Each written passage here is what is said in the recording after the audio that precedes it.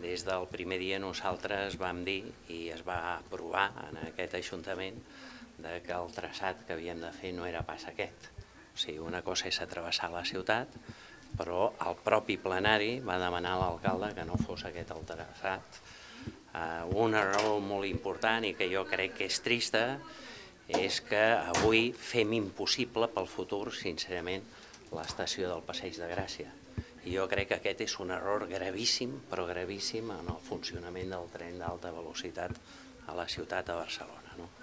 Sigui, aquesta actitud de no anar-hi perquè crec que és un menys preu a la decisió que va prendre el seu dia aquest Ajuntament. L'alcalde té aquest costum que ell no fa cas del que es decideix en aquest plenari, ell va, va tirar milles, fa el que li dona la gana amb una cosa que jo crec que és una falta gravíssima a la democràcia i escolteu, eh, sí que jo crec que és important, ja que l'alcalde aquesta tarda veurà en el senyor Blanco, pues que li expliqui una cosa, no? Eh, que li expliqui que nosaltres necessitem uns ports amb autonomia